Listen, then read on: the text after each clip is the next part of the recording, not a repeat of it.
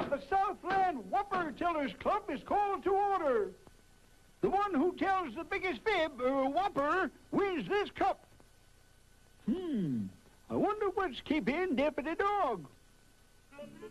Good nabbit!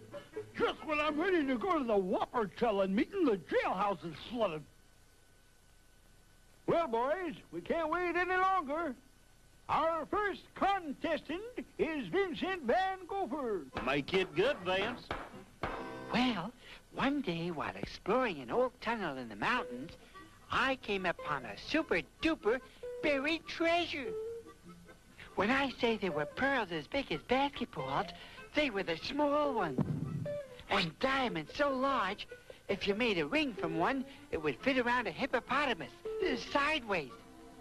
Then, all of a sudden, we, a pirate. I grabbed one of the diamonds and headed for the entrance. That big old pirate kept swishing at me like he was slicing up ham for a cheap sandwich. You know, real thin. But when the sunlight hit that big diamond, the rays reflected in the pirate's eyes so he couldn't see a thing. And he ran right off the cliff. Tremendous earthquake. And the whole mountain caved in on the treasure. Pretty good whopper there, Vince. If I don't find out what's causing that flood, I'll miss that meeting and all the ramifications, whatever that may mean. Hooey! There's my trouble, a giant catfish. No use waiting for Deputy Dawg. Muskie, we'll hear your entry in the whopper contest. Hooray, Muskie! Go, go, go!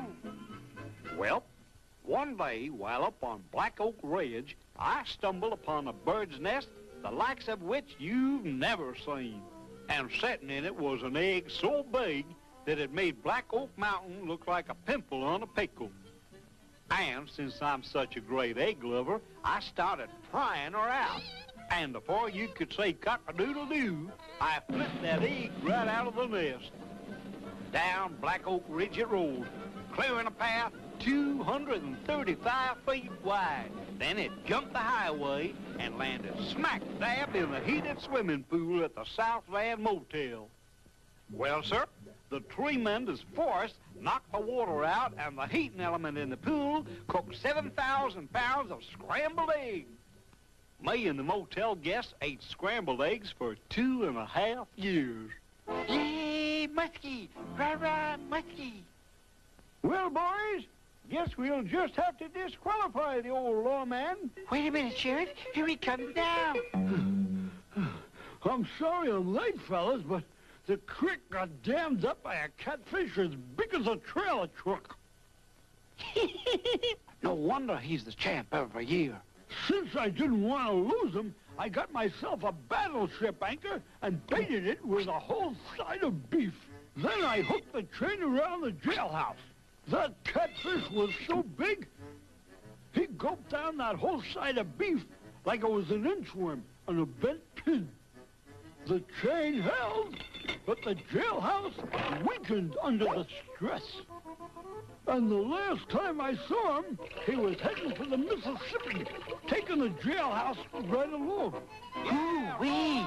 That's the biggest whopper of them all. Dag nabbit, it's the truth. Well, whatever it is, you win the championship with it. Truth is stranger than friction.